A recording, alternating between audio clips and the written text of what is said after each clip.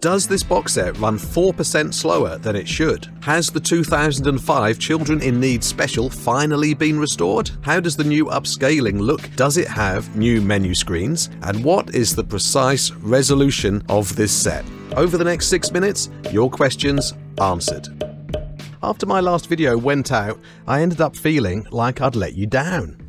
You see, this brand new Doctor Who Blu ray box set, which combines series 1 to 4 and the specials in a newly upscaled version, appeared on my doormat, and I was so excited to show you how it looks on the outside, I forgot to tell you anything at all about the inside. And as we all know, the inside can often be much bigger than the outside, and judging by comments, that certainly is the case for you. Quite a few of you have been holding out from pre ordering this because you're genuinely not sure how much of a real upgrade this is from the previous Blu ray sets. Here's the thing I am not much of a cinephile, and that is kind of another reason it wasn't my natural instinct to put in a disc and go, hmm, does that look better than this or that? But this channel may be called Jason Arnopp's Terrifying House of Obsession, but that doesn't mean it has to be solely my obsession. In fact, my number one priority as a YouTuber should be to cater to your obsession. So, coming up, I'm going to deliver answers to most of your questions straight from the mouth of an official source. I'm even going to give you a snippet of new information that you didn't ask me for, but which I think you'll appreciate. Exterminate the like button if you approve of this behavior. Because after my last video came out and people were asking me about the upscaling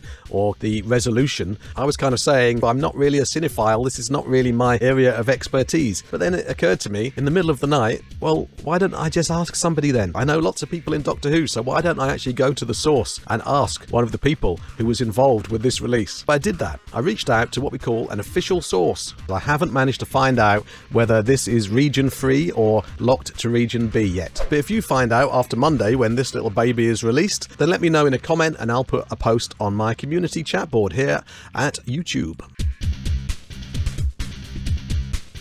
The number one question you asked me, I think, was how does the upscaling look? And again, I'd been so excited to get my unboxing video out to you I hadn't even put a disc in and played one. If I put video footage on this channel, I'm in contravention of BBC copyright, and you end up with a copyright claim, possibly even a copyright strike, and I don't want to go down that road. Now, I know that what I'm about to initially say here isn't all that informative, but this looks really good to my eyes. It looks great. I don't have the previous Blu-ray sets, so my closest bit of comparison comes from this old DVD box set which is series 1 to 4 in standard definition. And this, of course, was the first time we got series 1 to 4 in one home media package. While making this video, I actually experimented with taking terrible still photographs of my TV set to try and compare images from my old DVD set with the new Blu-ray set. As you can see, the results are just laughably lo-fi, but hopefully you can at least get a vague idea of the uplift in quality. You'll be happy to hear that from question 2 onwards, we're shifting away from my subjective opinions and moving into objective facts supplied supplied by my official source. Many of you were very technically specific about what you wanted from this box on a technical resolution level. You wanted it to finally be, and I'm totally not reading from a piece of paper here, don't think that for a moment, 1080 slash 50i. This box set is indeed in 1080 slash 50i. So, how do you feel about that? Eh? I'm happy about that. I was I was really insistent that that's what it should be. By the way, I don't mean to belittle anyone who's into this tech stuff, more to disparage myself for my ignorance. You also asked about the menu screens and whether this set has new ones. I don't think so, even though I can't be sure, but here's a single photograph of the menu screens so you can tell me down in comments.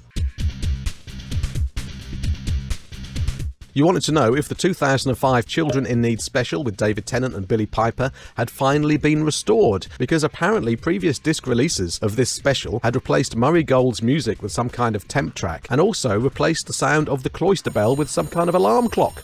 I know, I've been able to check the Children in Need special. It's on the first disc in this set, in this set. And so I simply put the disc into the player like I should have done in the first place and used my eyes and ears to find out the truth. For the sake of comparison, I went back and had a look at the version in this box set of the Children in Need special, and that version did indeed have some kind of basic sort of temp score and had replaced the cloister bell with an alarm clock. I wonder why that happened. Does someone own the copyright for the cloister bell or something? But in this version, it's been restored. Yes, as far as I can tell, the Children in Need Special is back as it should be. The music is back. Murray's music is back. And that's great news, isn't it? And then at the end, I was all eagle eared listening out for that bell, and it sounded good and proper. That resonant cloister bell that you want to hear as broadcast. Now, I'm sure there's probably going to be all kinds of niggly things that come out when this hits the streets, but let me know. Let me know down in comments if I'm totally right about what I'm saying here. But to my eyes and ears, it has Murray Gold score and it has the cloister bell. Yes!